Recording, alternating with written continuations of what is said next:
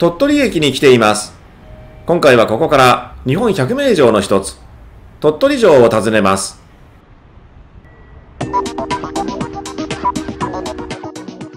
駅前のバスターミナルから循環バスに乗ります。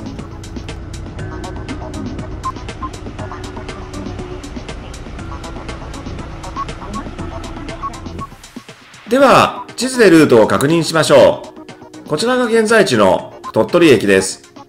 そして目的地が鳥取城です。駅前から出ているバスを利用しまして、神風閣県立博物館バス停まで行き、そこから歩いて途上します。では、早速向かうことにしましょう。神風閣県立博物館バス停で下車します。その後は堀端を歩きまして、大手門に向かいます。義母市橋を渡りまして途上しましょう。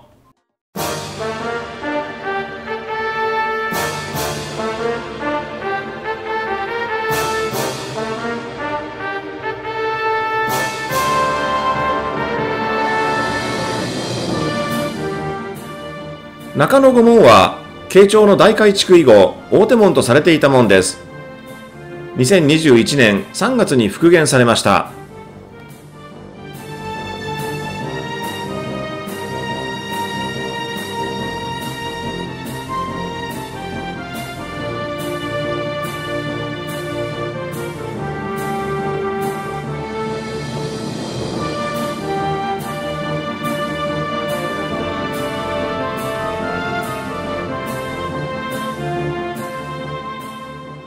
大手途上路は現在進行形で復元整備中です。中野御門から太鼓御門にかけて2023年までに復元する計画です。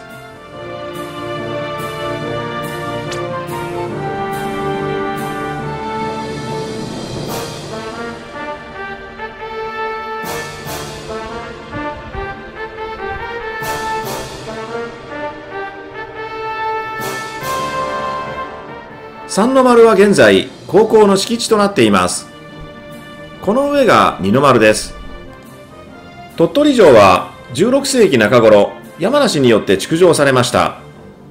1562年家臣の武田貴信の下克上により城を奪われますが1573年山名豊国が貴信を謀殺し城主となります。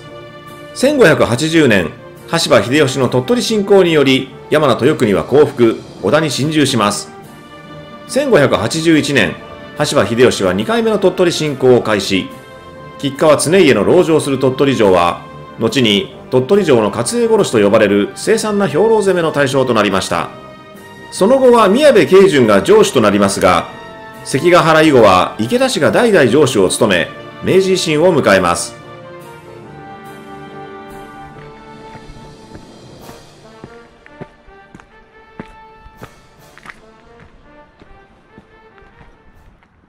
二の丸跡に到着しました。城内は桜が満開となっています。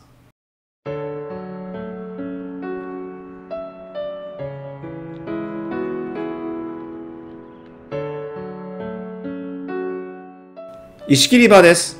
旧正山の尾根を切り崩して石垣の石材を確保していました。三階櫓跡です。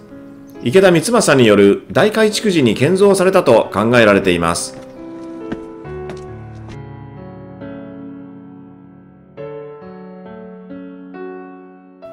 先ほど通ってきた大手門と神風閣が見えています。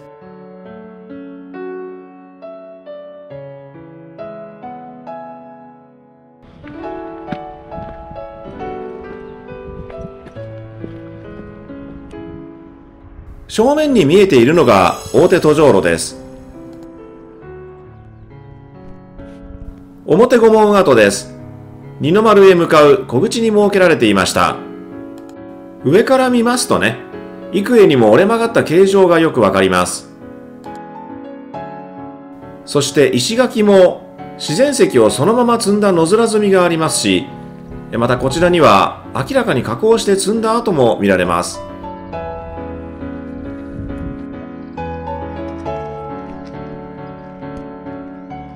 天球丸方面に向かいます。こちらでは珍しい巻石垣が見られます。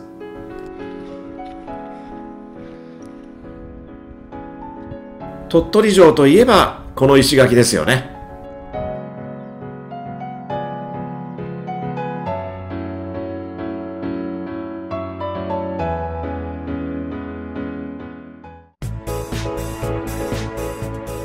稲荷神社を経由しまして三条の丸方面に向かいますこの辺りから徐々に山登りの様相を呈してきます山麓部の一番高いところにあるのが天球丸という車です。上から見た巻石垣です。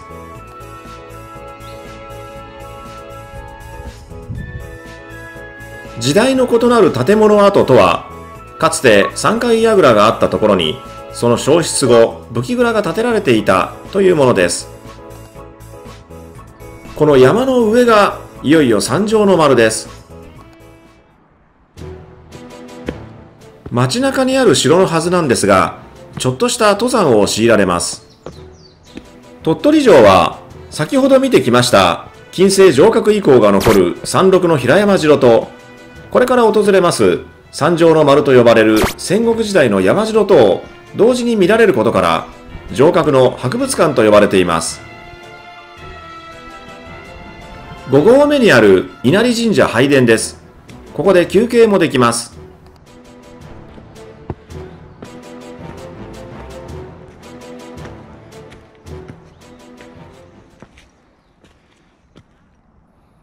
三条の丸に到着しました。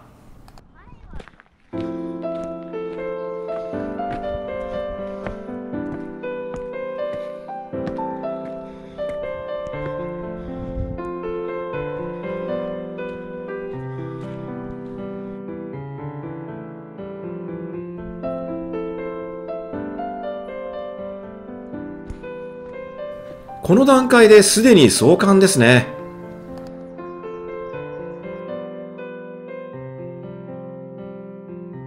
右手に見えているのが天守櫓です。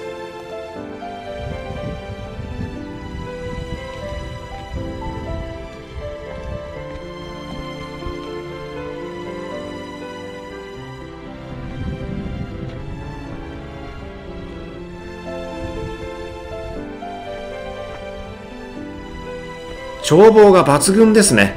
言うことはありません。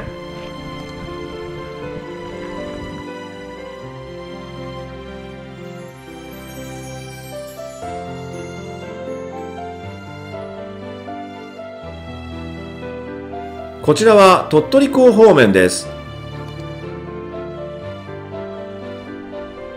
そして鳥取砂丘方面ですね。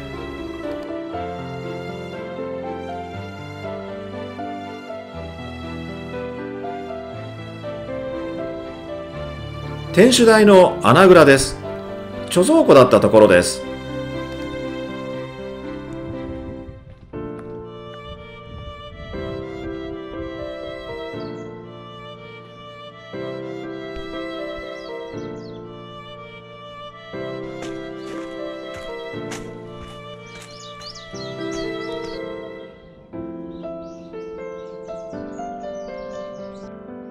本丸石垣の下段を歩いています。前方の桜のある辺りが出丸なんですが、道が崩れていてこれ以上進めませんでした。それではね、また山道を下りまして山麓に戻ります。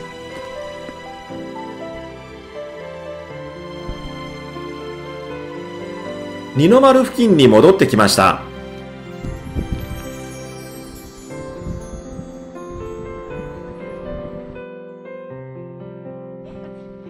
西坂下門です。二の丸途上口にあります。続いて神風閣を訪ねます。神風閣は20世紀初期に建てられた明治洋風建築で国の重要文化財に指定されています。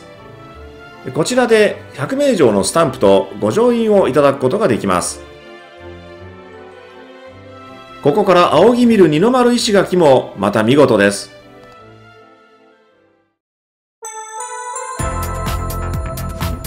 ということで、今回の動画は以上となります。